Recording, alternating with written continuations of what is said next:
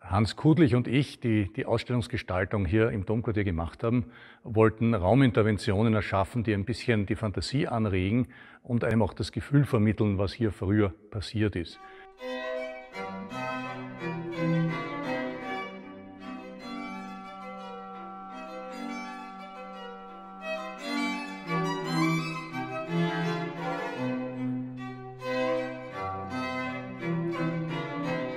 Die Räume in der Residenz sind ja extrem stark und schon durchaus überlastet mit Ornamenten, mit Farben, mit Formen und auch sehr unterschiedlich in den einzelnen Räumen. Da wollten wir nicht noch was dazugeben, weil man da nicht gewinnen kann.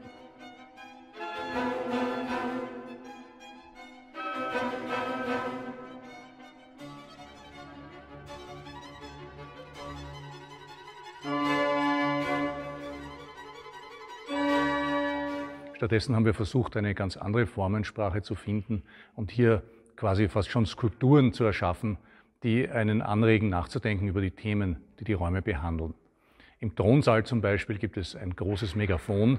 Die Idee ist sozusagen, dass der Herrscher absolutistisch in ein Megafon hineinruft und dann der ganze Hofstaat das tun muss, was verlangt ist. In dem Fall zum Beispiel Feste ausrichten, Musik komponieren und dergleichen mehr.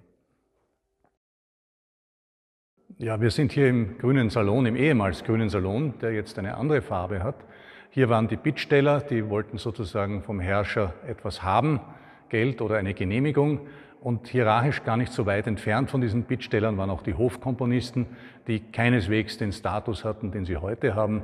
Es gab auch kein Urheberrecht und all diese Dinge, sondern die waren quasi Eigentum, die gehörten fast schon zum Inventar des Hauses und hatten hier zu komponieren, damit möglichst jeden Abend wie eine Radiosendung neue Musik läuft.